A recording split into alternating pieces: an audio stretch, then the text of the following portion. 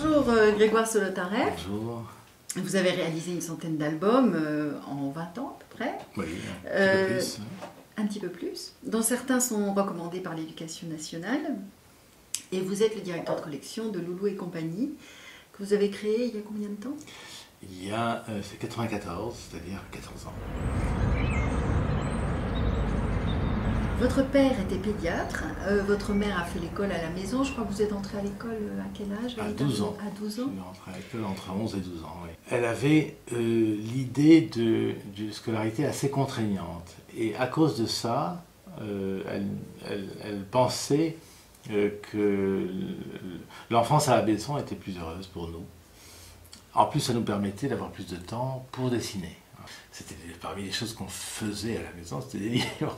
Oui, oui, Nadja dit que c'était une fabrique à histoire, que vous avez fabriqué oui, des oui. livres, euh, chacun vrai. les vôtres d'ailleurs. Chacun les vôtres. Quelquefois, on faisait les livres à deux avec Nadja. Et c'était la seule à qui je, avec qui je faisais des livres, d'ailleurs. Euh, mais on faisait chacun semblant de faire des livres avec des reliures et tout ça. Et votre père, alors, euh, n'avait pas père. la même formation, Non. Mais euh, il était très féru de littérature, m'a dit Oui. votre sœur Nadja. Oui, oui, oui. Disons que lui, il, euh, il était accompagnateur de, euh, de l'éducation qui consistait à voir des choses, voir de la peinture, à écouter de la musique, etc. Et donc il fournissait en livres, en exposition, en choses comme ça, euh, le, matériau pour, se cultiver, pour cultiver ses, enfants.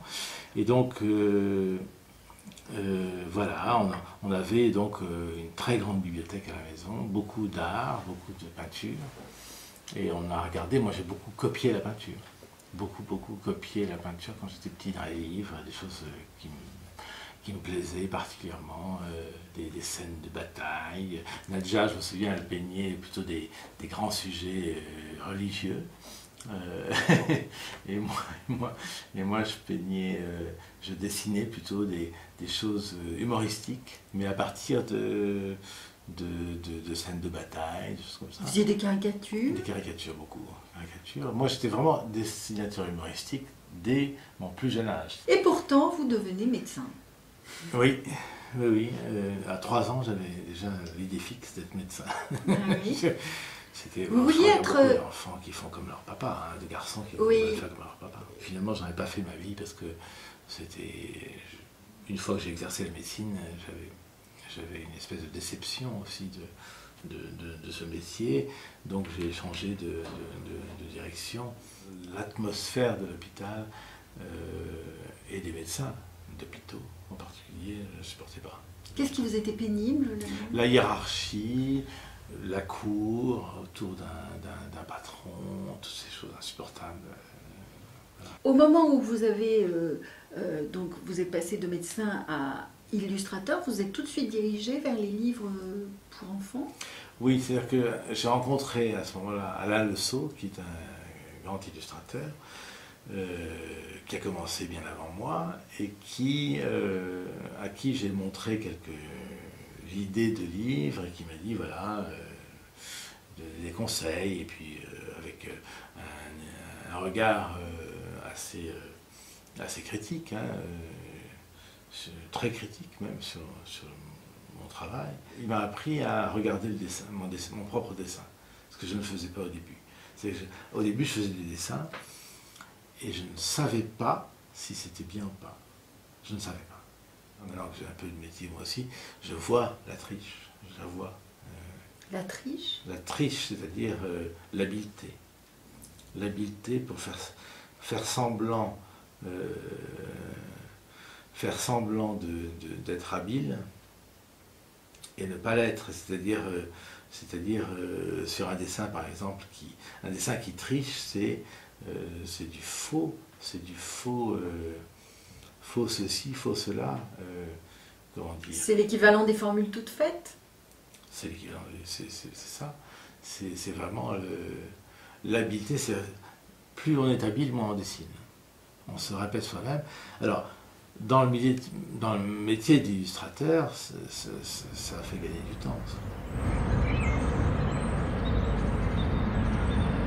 j'avais volonté dans mon dessin à la fois de me surprendre moi-même, mais de surprendre aussi les autres. C'est assez conscient. Euh, quand j'ai découvert Ungerer, je me suis dit, euh, quel salaud Et je me suis dit, euh, jamais j'y arriverai, jamais j'arriverai à, cette audace, à cette grâce, à, tout ce, bon, tout, les, ce qu'on peut dire du dessin de Et je me suis dit, il faut que j'arrive, parce que qu'est-ce qui me plaît chez lui? C'est à la fois cette liberté et ce coup de poing dans l'estomac qui vous donne. Et c'est ça que j'ai envie de faire. J'ai envie de donner des coups de poing dans l'estomac. Vous avez envie de trouver cette, cet impact visuel si fort. Oui. Et aux enfants, euh, particulièrement, je ne pense pas aux enfants quand je fais un livre, hein, mais je pense à celui qui va le regarder. Et les enfants sont. Euh, rétrospectivement, je me dis ça, je ne sais pas du tout comme calcul, je me dis que les enfants sont sensibles à euh, cette euh, cette liberté, cette rapidité, cette dynamique qu'il y a dans un dessin. Et cette force aussi. La force, oui, euh, mais quelquefois ça agresse aussi, ça peut agresser la force, mais euh, c'est surtout la dynamique qui fait que, je crois, les enfants sont sensibles au, dessin au service d'une histoire. Je ne dis pas au dessin en, partie, en, soi.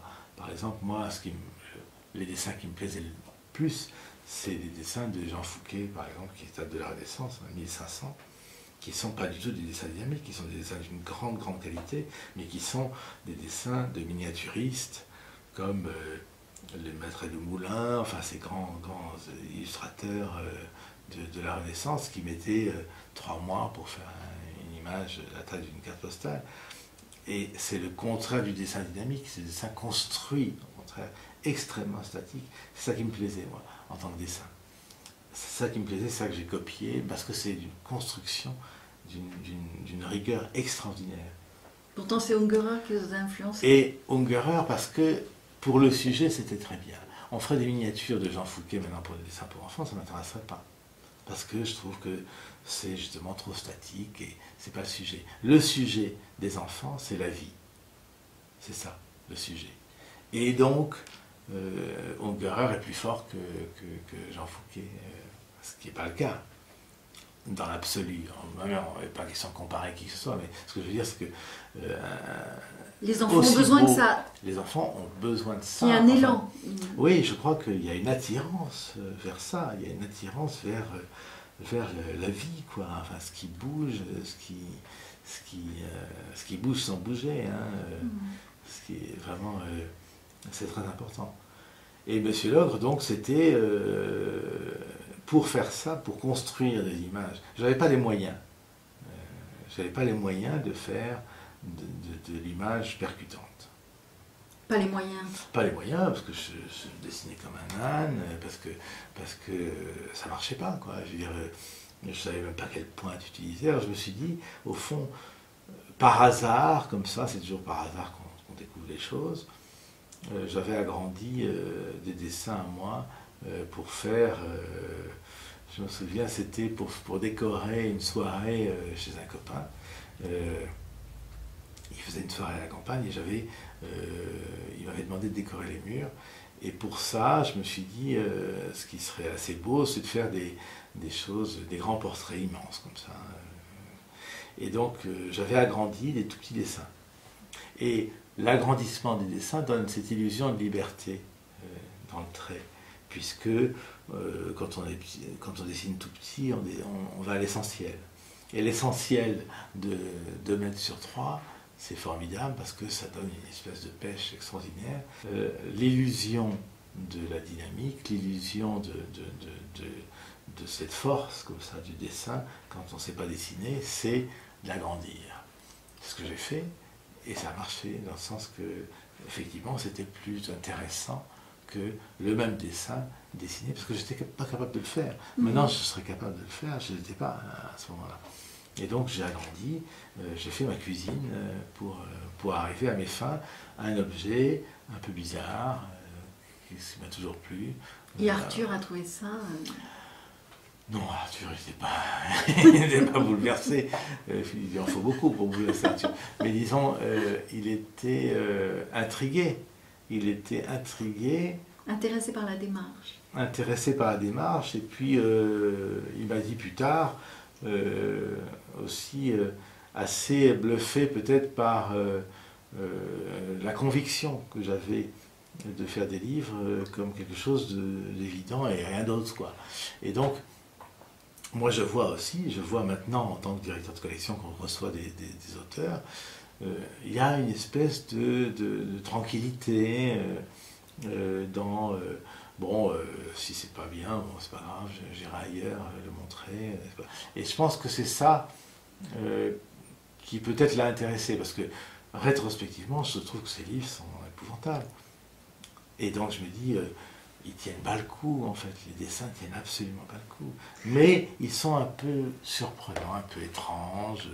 Et surtout, euh, peut-être qu'il a vu là, peut-être euh, une espèce de promesse de quelque chose de, mieux. Enfin, euh, il n'a pas eu tort. Ben, moi, j'en suis bien reconnaissant d'avoir fait confiance. Et c'est ça, au fond, un éditeur. Euh, plus que quelqu'un qui prend que des choses qu'il adore systématiquement, c'est la confiance dans l'auteur. Et alors avec Loulou, est-ce que c'était bien longtemps après? Loulou, c'était euh, quelques années après. Ça a marqué un véritable tournant dans votre... Oui, parce que euh, c'est la première fois que j'ai fait du dessin sans l'agrandir. C'était la première fois. Donc c'était capital pour moi, c'était une libération extraordinaire. J'étais dans ma cuisine, de, euh, agrandissements de retouches, des choses comme ça très compliquées, assez ingrates à faire euh, pour obtenir euh, des choses qui ne me plaisaient pas, en plus. et là, tout d'un coup, ce qui s'est passé, en fait, il y a une anecdote assez drôle avec Nadja, c'est que je fais le dessin de, loup comme, comme les Monsieur Logre, avec des en petit agrandi. Et je mets en couleur, ça, de toute façon un peu mécanique déjà. C'est-à-dire que j'avais déjà pas perdu, mais disons que euh, pour faire ce livre, euh, j'avais euh, une espèce de retenue, enfin quelque chose de déjà fait, donc qui m'intéressait moins. Quoi. Et je sentais très bien que je ne serais pas content de ce livre. Et puis j'en parle à Nadja au téléphone, et avec qui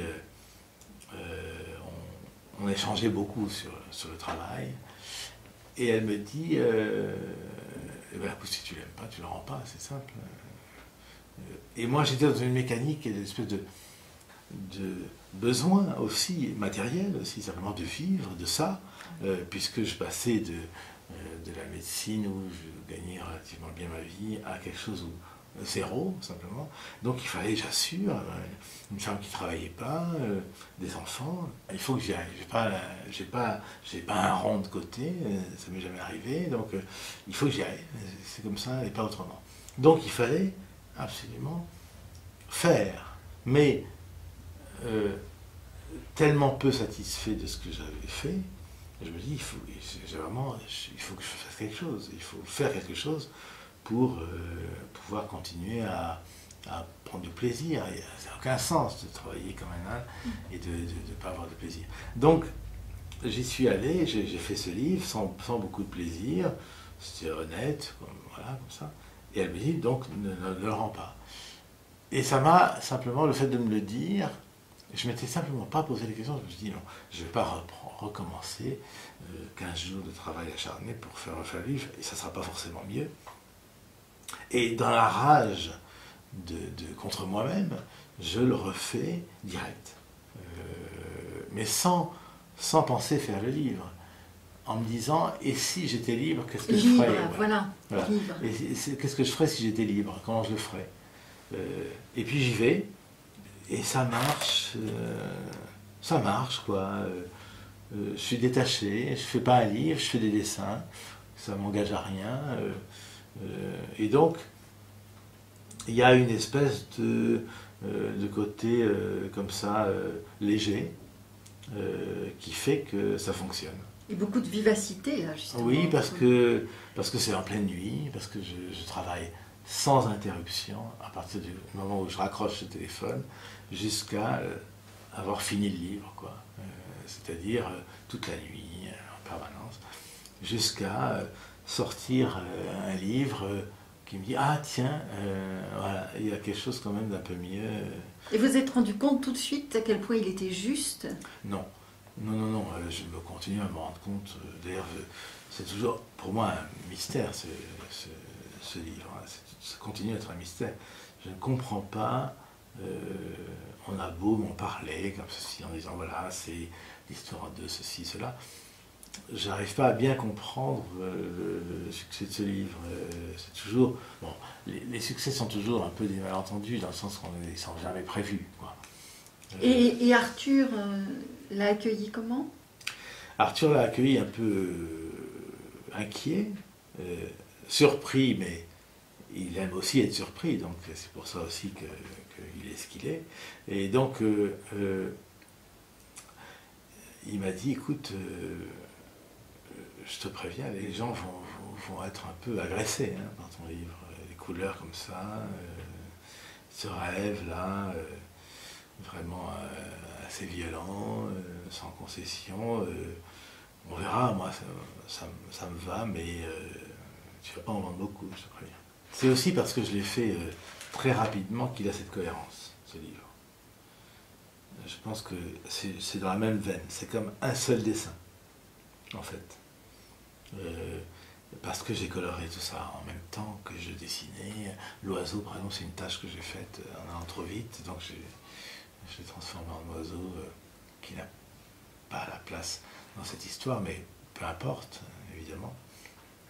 Et des choses comme ça, qui fait que euh, tous les jus, je les ferai pas comme ça maintenant, je les trouve un peu laborieux et tout ça. Mais, les jus, vous parlez des fonds? Oui, mhm. mais voilà, ça marche, euh, ça fonctionne. Mais est-ce que ce n'est pas à ce moment-là que vous avez vraiment trouvé votre style? Si, si, c'est à ce moment-là que, je me suis libéré de quelque chose qui était nécessaire sûrement. Toute cette préparation mm. euh, de plusieurs années de, cafouillage, de, de dessin, euh, d'artisanat misérable, de coller ces petits trucs, de photocopier, d'agrandir, de, retoucher en blanc, de repasser sur un beau papier. tout ça, c'était, ça devenait pénible. Ça devenait. Euh, qu'est-ce qui s'est passé alors à partir de Loulou? Une libération euh, de me dire, je me fous éperdument de rater mon image. Qu'est-ce que ça peut faire? Avant, j'étais économe de mes propres images. Comme c'est, une erreur énorme. Et beaucoup d'illustrateurs font ça. Je vois comme ils travaillent, quand, ils viennent me, me montrer leurs dessins. Euh, ils, sont, ils, considèrent leur, leur, propre dessin comme un petit chef-d'œuvre qu'il faut, euh, il faut prendre avec des pincettes. Nous, on s'en fout, on en fait 40, on en fait 300, euh, jusqu'à ce que ça soit bien. Et puis, vous avez trouvé aussi votre style. on a l'impression que vous détestez la mièvrerie. Ah oui, je déteste la mièvrerie, ça c'est vrai. Je déteste ce qui est gentillet. J'ai horreur de ça. et j'essaye de, de, d'éviter ça euh, malgré euh, les sujets qui sont, qui sont gentils. Hmm. Mais ce sont quand même euh, les personnages dont vous parlez, que vous présentez, ce sont des vrais, des vrais caractères. Oui, moi je pense que c'est important de faire des caractères. Je pense que c'est là qu'un lecteur il trouve matière à réflexion, à, à question. il faut des caractères pour intéresser, quoi. C'est comme au cinéma, hein, quand, les gens n'existent pas à point de vue caractère, on se détache de l'histoire, l'histoire. Visuellement, il y a aussi les longs nez et les, longues oreilles. Parce que. Ça, c'est de la caricature pure.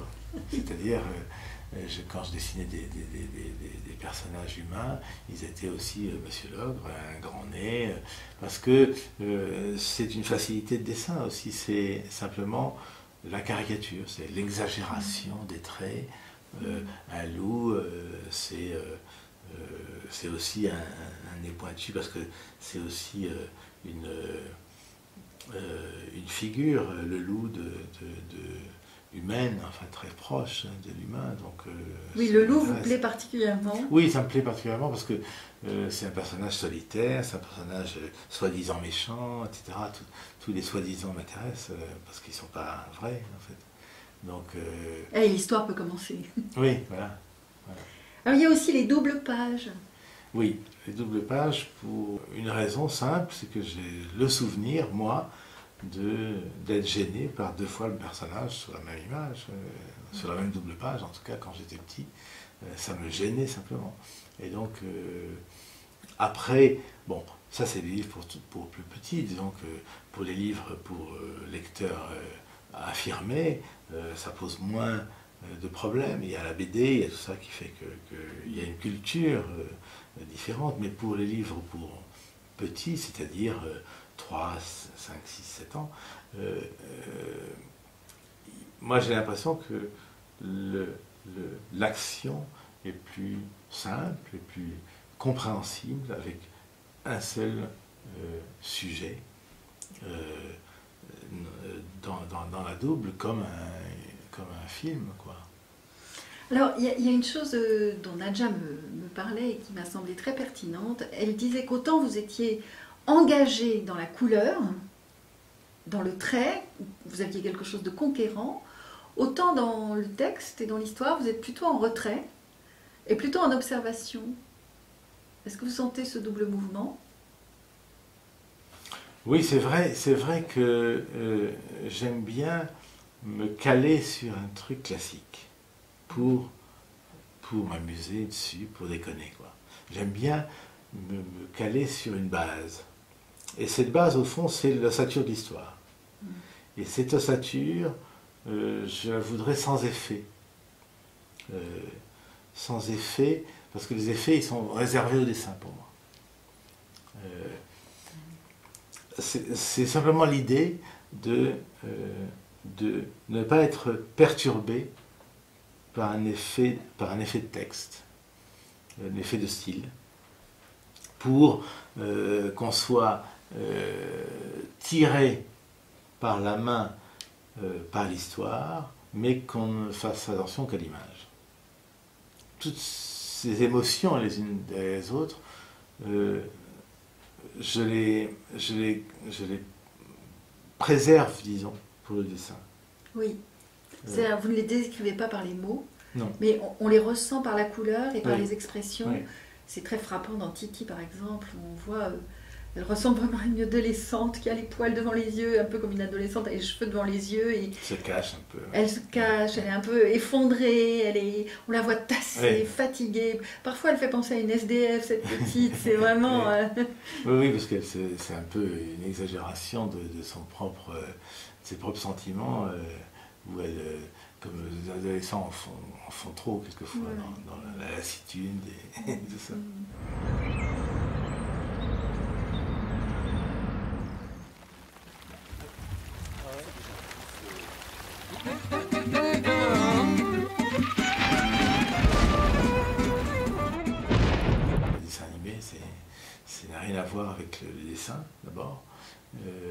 C'est autre chose. D'abord, c'est quelqu'un qui dessine à votre place, enfin, plein de gens. Et donc, c'est une adaptation de votre dessin. Donc, à la fois, vous, vous êtes trahi, à la fois, vous, vous, vous percevez les défauts de vos propres dessins. Euh, donc, euh, On en revient c'est une toujours là. expérience, c'est- une expérience intéressante, mais c'est très très long. Et, euh, et à la fois, ça m'a permis de, de, de- de- de faire la direction d'acteur, par exemple, pour eux, que j'adorais, et qui me donne toujours envie de, de- de faire du cinéma. Ça mange pas comme nous, les loups. Ah ouais, ça mange quoi, monsieur Tom Je sais tout. Il, il va te le dire. Je. Je. Je sais pas. euh, Enfin, si, je. De la chair fraîche De la quoi? De la chair fraîche, quoi Qu- Quoi? De la chair fraîche? Genre trois petits cochons, tu veux dire? Oui, voilà, c'est ça, par exemple. Bon, il est pas légume, il est pas légume, hein. On va pas en faire un potage. Donc, vous allez continuer. Je vais continuer, je, suis, je suis en train d'écrire euh, avec un ami, le même avec qui j'ai fait Loulou, euh, Jean-Luc Formentin, euh, le, le- le prochain. Euh, Est-ce que ça va marcher? J'en sais rien pour l'instant, c'est trop tôt pour le dire. J'espère, euh, ça devrait... euh, Il s'agit de, de- de- de Loulou en long métrage. Une grande histoire. Vous n'en aurez jamais fini avec les défis? Euh, J'espère. J'espère.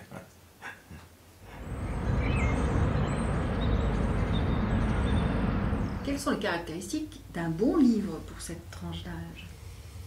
C'est difficile à dire un bon livre. C'est-à-dire que euh, c'est pas forcément un livre qui me, me plaît au point de vue goût. C'est-à-dire que il faut qu'un livre fonctionne avec différents paramètres. Euh, je pense que euh, moi, j'ai l'impression qu'il y a certains paramètres obligatoires qui sont une certaine gaieté, une certaine, un certain humour, euh, de l'intelligence euh, au fond, même sur un concept très très très simple.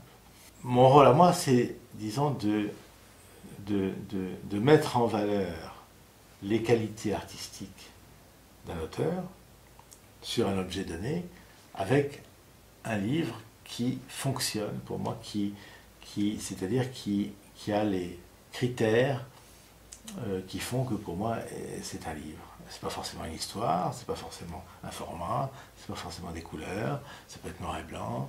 Euh, Il n'y a pas de, de choses précises, mais en tant que tel, c'est un objet qui, qui, qui, qui existe.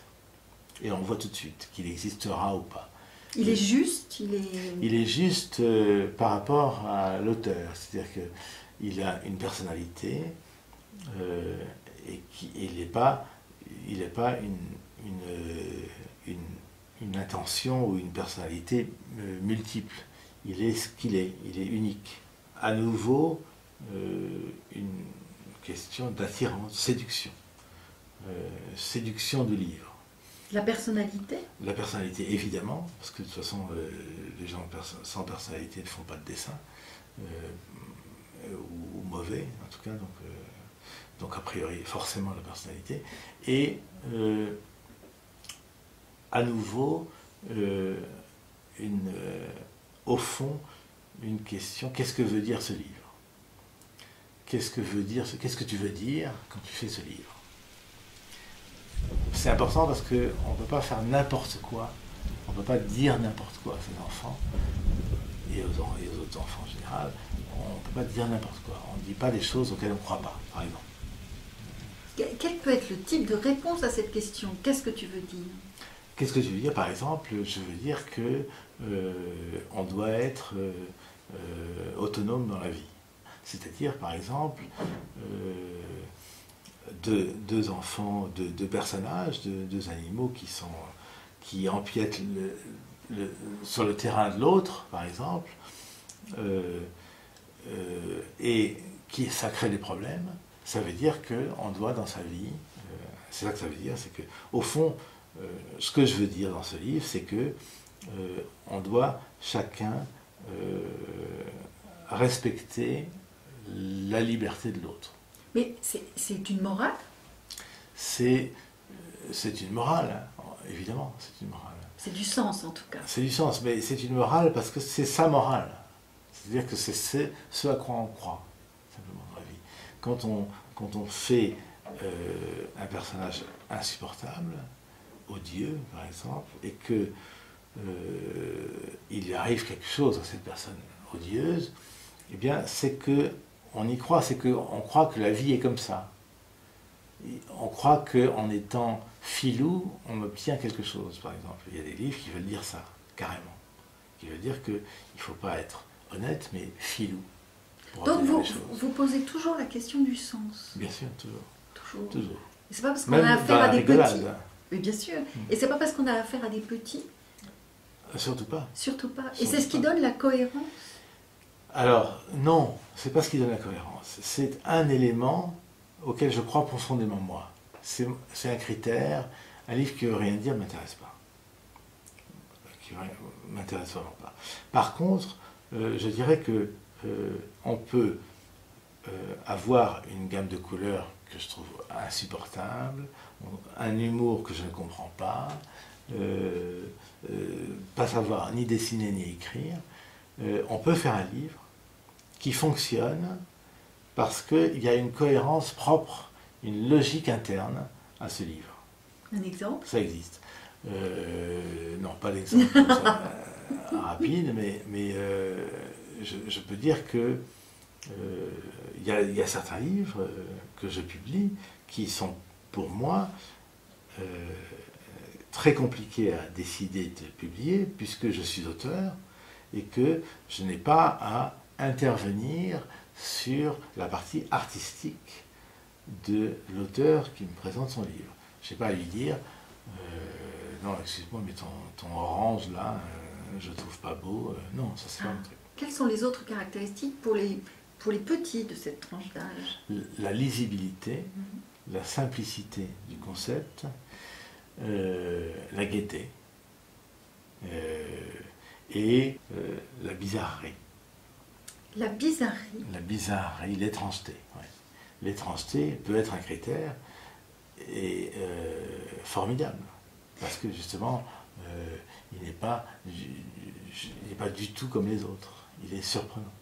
Alors il me semble que si vous avez, apporté, enfin, vous avez apporté quelque chose au livre pour les petits, pour les bébés, c'est ça peut-être. La surprise dans la proposition.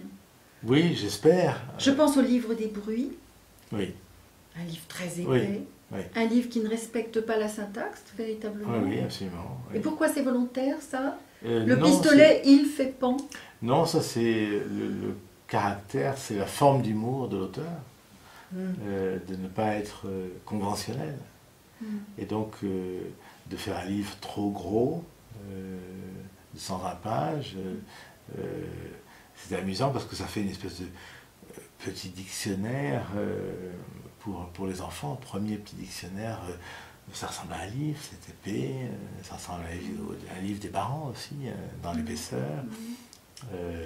c'est le concept est parfait, il sollicite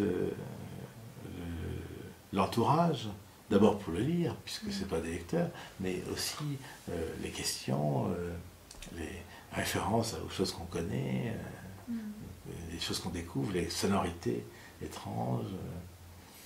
Tout ça, c'est, ça fait partie des, choses non dites hein, euh, dans, une, dans, un, dans un livre, dans un choix. C'est, juste, euh, est-ce que, ça, euh, est-ce que ça, ça, marche quoi On a l'impression aussi que vous ne reculez devant...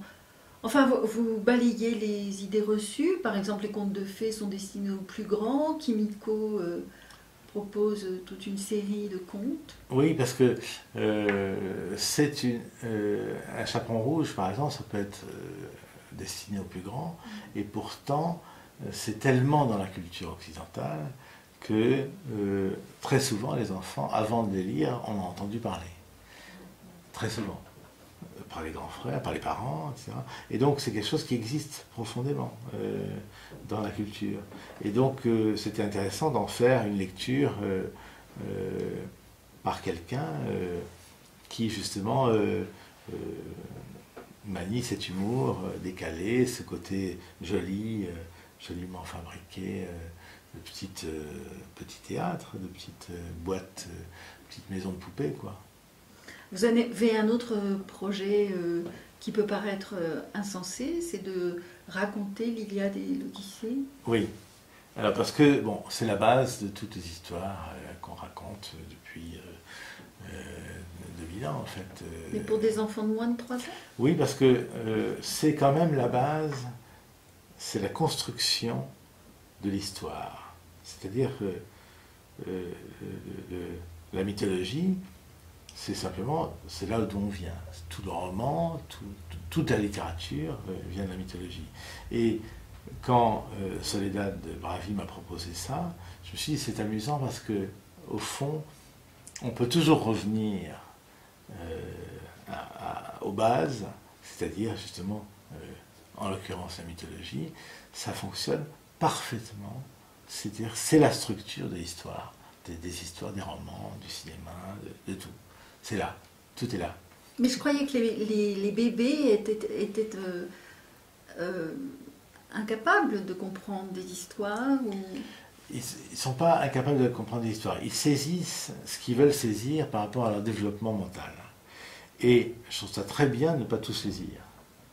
Je trouve ça formidable parce que ça, ça appelle la suite. C'est-à-dire ça appelle les questions aux parents, ça appelle les questions qu'on se pose. C'est quelque chose euh, comme. Euh, moi, je me souviens des fables de La Fontaine où je saisissais absolument pas tous les mots.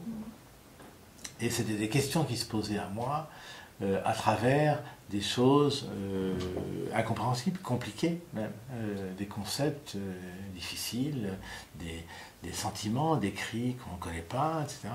Tout ça tire les enfants vers le haut. moi, Et oui, pense. et est-ce qu'il ne s'agit pas en fait de les intriguer, de piquer leur curiosité, Bien sûr. de leur donner un socle culturel aussi qu'ils vont avoir Bien ensuite sûr, non, c'est pas spécialement didactique ni, ni pédagogique, c'est Mm. juste euh, que c'est la base de la littérature, donc ça marche. Ça marche, pour moi ça marche parfaitement. Même pour les petits. Même pour les petits. J'aime bien la surprise, j'aime bien, je déteste la routine, je déteste euh, les conventions, je déteste euh, les choses euh, qui vous rappellent euh, la condition humaine finalement sociale difficile, et donc tout ce qui fait échapper à ça, c'est-à-dire le plaisir, quoi, c'est-à-dire la- question qu'on se pose, l'inquiétude, la peur aussi. Tout ça, c'est des questions qui font que, le lendemain est intéressant. En tout cas, je, trouve vraiment que vous avez, avec euh, Loulou et compagnie, euh, et de plus en plus, euh, totalement bouleversé le paysage des livres pour bébés. Au début, on, m'avait reproché de, faire quelque chose euh, de non seulement. Euh, c'était pas cohérent parce que c'est plutôt un compliment d'être cohérent, mais plutôt euh, euh, les choses se ressemblaient trop les unes les autres. Et je trouve qu'on est arrivé à une maturité du- de, de- de cette collection avec une grande diversité, c'est ça qui me plaît. En fait, c'est évidemment ça qui me plaît, c'est-à-dire euh, cette euh, idée de rester dans, pas forcément l'histoire, euh, c'est-à-dire ça peut être des livres conceptuels, hein, comme les livres des bruits, comme des, des, abécédaires, bien que ce soit, encore une fois, voilà, ça c'est un exemple parfait. L'abécédaire, c'est pas du tout pour les enfants de 0 à 3 ans, puisque l'apprentissage de la lecture se fait beaucoup plus tard. Tout à fait. Et pourtant, euh, l'image d'une lettre, l'image d'un, mot qui commence par une lettre, commence à habituer les enfants à ça. Et ça suffit pour moi pour que on puisse faire un abécédaire pour 0-3 ans qui soit formidable, alors que ce n'est pas le sujet. Finalement, vous, vous préparez le terrain? Je prépare le, oui, je prépare le terrain. On- C'est, un peu prétentieux de dire ça. Je dirais, euh, je propose des choses euh, le plus variées possible. Pour dire voilà, tout existe euh, dans la vie. Il y, a, ça, et puis ensuite les parents décident entre des choses médiocres qu'il y a partout, et puis d'autres choses qui sont différentes, qui correspondent aussi plus à leur, leur idée, euh, peut-être euh, à eux, de la culture, etc. Juste un mot sur la gaieté. Pourquoi de la gaieté pour cette tranche d'âge? Ah, parce que la gaieté, c'est la source euh, de tout. hein. Euh, pour moi, c'est, c'est, euh, la gaieté, c'est, euh, c'est avant l'humour, quoi. L'humour, c'est, c'est vrai, c'est réfléchi, c'est culturel, c'est tout ça. La gaieté, c'est universel.